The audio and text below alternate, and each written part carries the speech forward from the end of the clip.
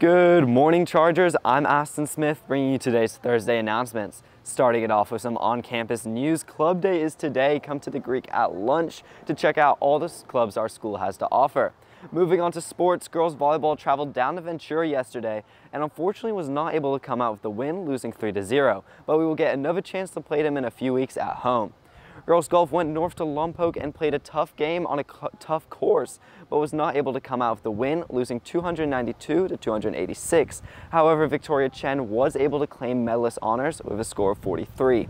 Last week, myself, along with Ethan Perez, Trevor Cuevas, and Josh Conheim, traveled down to Ojai to cover our football team's first away game of the season. Here's the story now. I'm here in Ojai where the Chargers are taking off Nordhoff. Last year, we beat them in a 41-7 dominant showing, and today we'll be looking to build off that strong performance. Senior quarterback Ryan Marsh had a great performance last week, We had a really good game with efficiencies and a great turnover to touchdown ratio.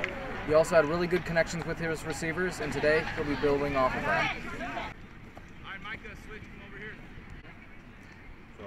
I'm excited. I think it's going to be a big win tonight, 2-0, uh, um, and feel like we're bringing the Charger Express back.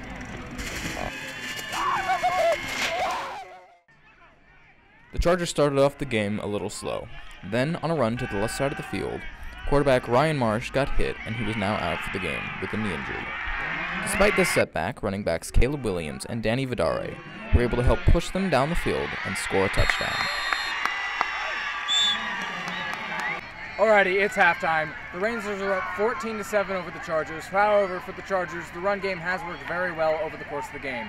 Running backs Denny Vidare and Caleb Williams have had some great runs over the game, and Caleb Williams is having a stellar performance. In the second half, the Chargers went to work what best for them, which was running the ball. The Rangers started off the second half with a field goal, and the Chargers would fall to a 17 7 deficit. Despite this, the Chargers came back, scoring three unanswered rushing touchdowns, one by Williams and the other two by Vidare.